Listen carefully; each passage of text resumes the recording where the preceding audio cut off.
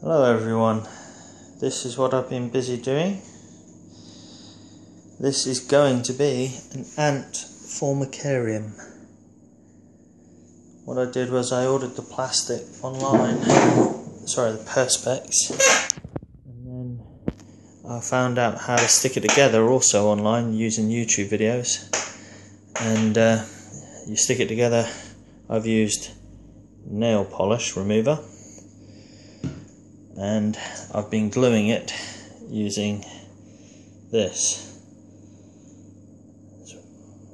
And a uh, little needle on the end there. I don't know if I can get that. But yeah and basically just running it along the joints where it's going to be joined.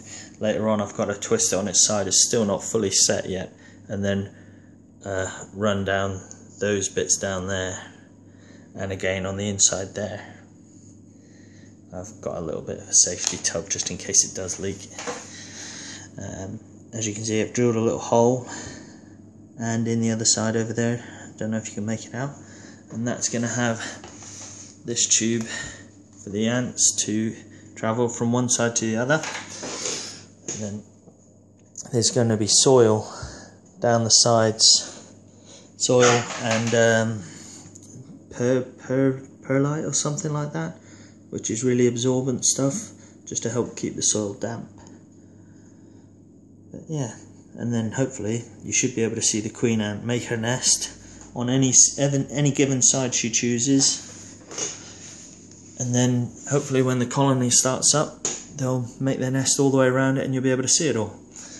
Inside, inside, sorry, this is going to be the internal lid once I peel it off, I'm gonna have to stick some sort of handle because then that'll fit in there and sit on top of that one. So I can make a little outworld on the top there. And then again, same thing. This is the external lid. Got to peel it all off and everything. It's going to be a little bit fiddly, but it's all good.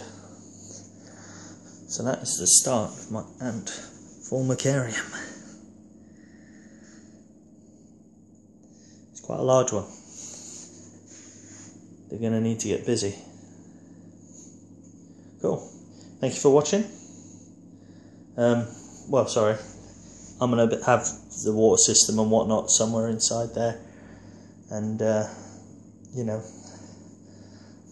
it's kind of a work in progress type thing. But I think it'll look pretty good. Okay, thank you for watching.